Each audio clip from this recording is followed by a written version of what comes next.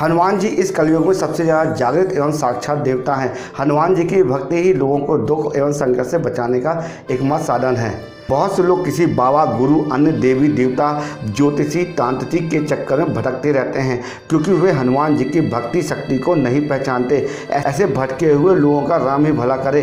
श्री हनुमान जी की भक्ति और हनुमान चालीसा पढ़ने से व्यक्ति खुद इन दस तरह की बाधाओं से बच जाता है। भूत प्रसाद जैसी ऊपरी बाधाओं से परेशान व्यक्ति को बजरंग वाल का पाठ करना चाहिए और नित्य मंगलवार और शनिवार को श्री हनुमान मंदिर में जाके हनुमान जी को धूप लगाना चाहिए फैक्ट्री या व्यवसाय स्थान आदि पर भूत प्रेतों का साया न पड़े। इसके लिए अपने अपने प्रतिष्ठानों के ऊपर हनुमान ध्वजा झंडा लगाना चाहिए। यह ध्वजा लाल कलर का हो। बुरी आत्माओं का प्रवेश घर में ना हो। इसके लिए द्वार पर सिंदूर से राम राम लिखकर सात बिंदु लगा दें, जिससे आपका घर सुरक्षित रहेगा। मकान के आसपास शमशान हो या खंडर भवन हो तो ऐसे में मकान के ऊपर हनुमान ध्वजा की स्थापना कर देना चाहिए।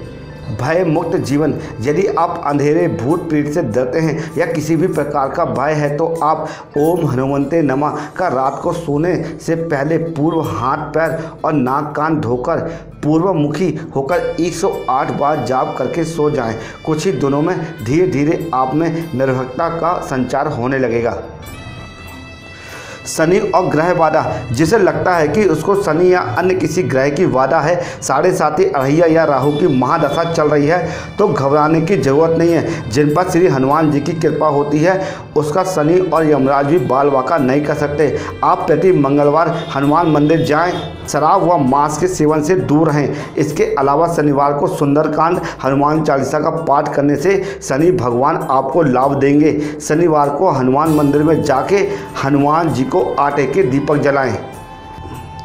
रोग और सुख नासे रोग, हरे सब पीड़ा, जपत, निरंतर हनुमत, वीरा, अर्थात वीर हनुमान जी आपका निरंतर जाप करने से सब रोग चले जाते हैं और सब पीड़ा मिट जाती है। यदि आपको शरीर में पीड़ा है या आप किसी रोग से ग्रस्त हैं तो आप हनुमान बाहु का पाठ करें। हनुमान बाहु गोस्वामी तुलसीदास द्वारा रचित स्त्रोत है। यदि आप गठियावाद, सिर दर्द कंठ रोग, जोड़ों का दर्द आदि तरह के दर्द से परेशान है तो जल का एक पात्र सामने रखकर हनुमान बाहु का 26 या 21 दिनों तक मुहूर्त देकर पाठ करें। प्रतिदिन उस जल को पीकर दूसरे दिन दूसरा जल रखें। हनुमान जी की कृपा से शरीर की समस्त पीड़ाओं से आपको मुक्ति मिल जाएगी। कोर्ट कचहरी जेल बंधन से मुक्ति। हनुमान जी बंधन छोड़ बाबा हैं। इनके अलावा कोई अन्य बंदी छोड़ नहीं है। जो व्यक्ति नित्य सुबह शाम हनुमान चालीसा पढ़ता रहता है, उसे कोई व्यक्ति बंधक नहीं बना सकता।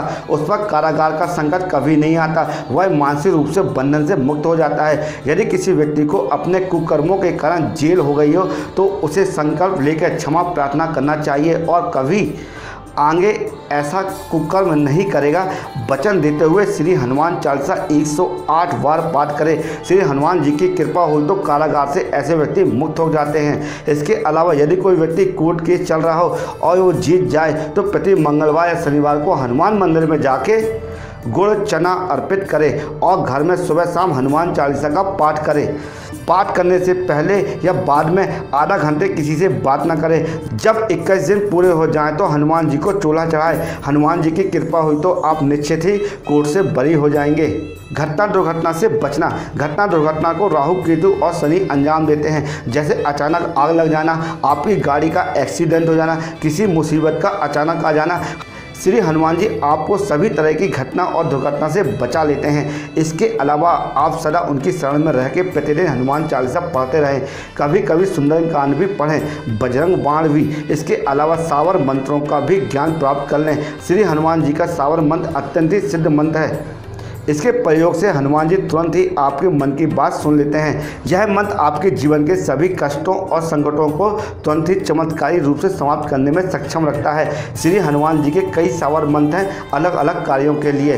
बहुत से लोग मंगल दोष के भय से ग्रसित हैं। शादी के लिए मंगल को जिन संस्थानों पर देखा जाता है, वे एक, चार, सात, आठ और बारह भाव हैं। ज्योतिषियों के अनुसार इनमें केवल आठवां और बारहवा भाव समानता तौर पर खराब माना जाता है। समान तौर का अर्थ है, विशेष विशेष परिस्थितियों में इन संस्थानों पर बैठा मंगल अच्छे परिणाम दे सकता है। ऐसा माना जाता है कि 28 वर्ष की उम्र के बाद यह दोष समाप्त होना शुरू हो जाते हैं। मंगलवार के दिन व्रत रखकर सिंदूर से हनुमान जी की पूजा करने एवं हनुमान चालीसा का पाठ करने से मंगल दोष शांत होता है। इसके अलावा लाल वस्त्र में मसूर दाल, रक्त चंदन, रक्त पुष्प मिष्टान एवं दिव्य लपेट कर नदी में प्रवाह करने से मंगल का अमंगल दूर हो जाता है।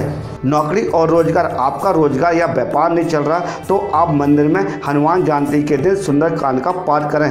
प्रतिदिन हनुमान चालीसा का पाठ करें। प्रति मंगलवार को हनुमान जी के मंदिर जाएँ। हो सके तो पाँच शनिवार को हनुमान जी को चूल्हा चढ़ाएँ। यदि यह संभव नहीं है तो पाँच बार किसी भी शनिवार के दिन चूल्हा चढ़ा सकते हैं।